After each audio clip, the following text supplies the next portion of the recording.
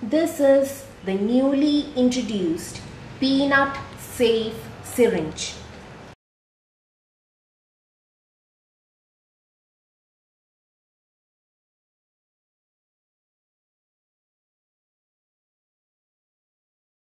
Its peculiarity lies in the presence of a circumferential groove around the needle connecting hub of the syringe and a protective cap.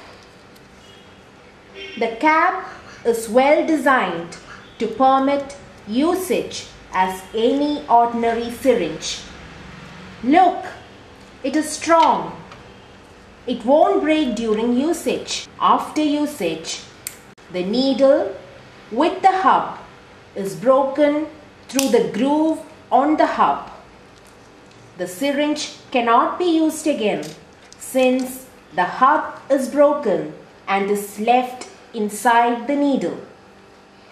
Since the broken hub is inside the needle, it also cannot be used again.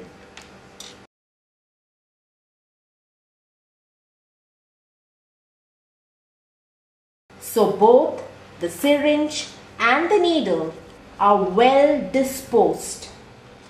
It is simpler, cheaper, safer and cost effective. It is also the most eco-friendly reuse prevention syringe.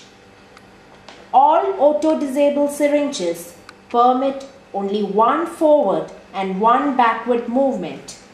But in Peanut Safe, it can be done for multiple procedures like blood aspiration and injection in a single patient in a single sitting, producing less plastic waste and more judicious use of resources.